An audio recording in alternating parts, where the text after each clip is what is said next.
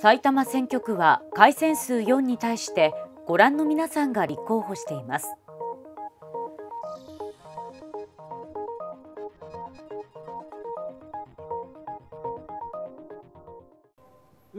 共産党の新人梅村彩子さんは2014年の衆議院選挙で比例北関東ブロックで初当選し衆議院議員を1期務めました今回5年ぶりの国政復帰を目指します。空襲で祖父を亡くし戦争は絶対にしてはいけないと強く感じたことが共産党に入党した原点です。街頭演説では自民党をはじめとした憲法9条の改正や防衛費の増額などを訴える政党を真っ向から批判し9条を生かした平和外交を徹底すると有権者に訴えます。そして皆さんまたコロナ不況と物価高騰の打開策として消費税を5%に減税するとしています。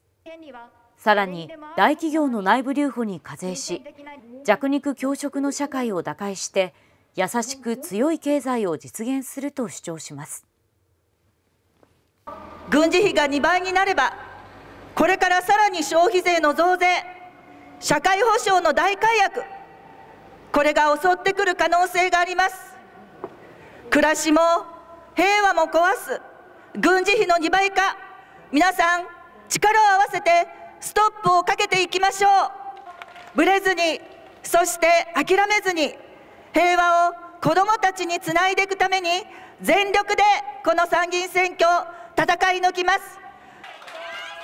共産党は改選数が1増えた前回2019年の参院選で21年ぶりに議席を獲得しました。今回は3年前の得票数を10万票以上上回る50万票が目標です。高い目標を達成するため若者や他の政党支持者の取り込みも狙います。県委員会の荻原委員長は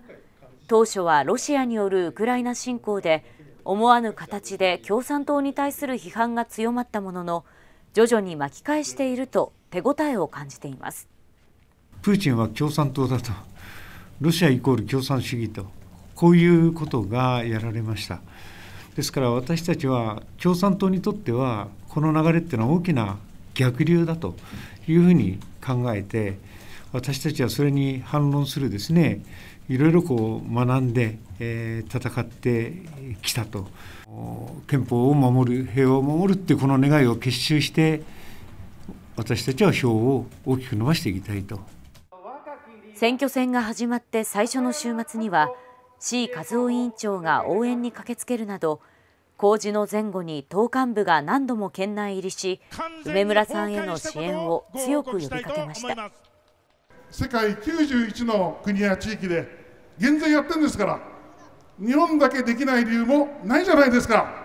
消費税の減税を拒む理由みんな崩れちゃったのが論戦の到達点なんです。